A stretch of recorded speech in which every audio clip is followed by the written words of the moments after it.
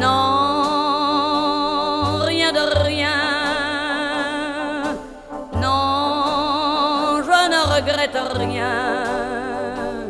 Ni le bien.